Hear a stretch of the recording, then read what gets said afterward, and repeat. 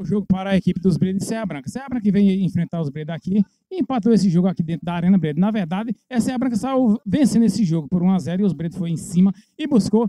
E graças a esse cara que está aqui, né, o Alcimar, que fez belíssimas defesas, e Serra Branca cresceu para cima dos Bredos, né, Alcimar? É, primeiramente, boa tarde aí, agradecer a vocês, né, pela presença. A gente saiu perdendo, fomos atrás, né, e conseguimos um empate com os desfalques, né, o nosso zagueiro não estava, mas deu certo, né, perdemos chance, eles perderam também, faz parte, né?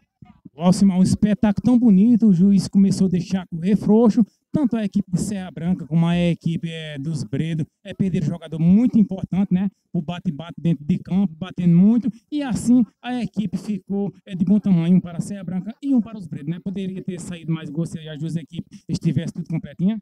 É, podia ter saído mais gol, é, o árbitro começou a perder um pouco o, o, o clima do jogo, né? os jogadores começaram a perder a cabeça, né? E começou a expulsão. Alcimar, e esse empate aqui dentro de casa você vai oferecer para quem? Esse aqui, esse empate, nós vamos oferecer ao nosso zagueiro Ronaldo. Valeu. É isso aí, ofereceu mais uma vez o zagueiro Ronaldo, que não está presente hoje. Não foi possível, mas a equipe dos Bredo é, é, empatou esse jogo com o Serra Branca por 1 a 1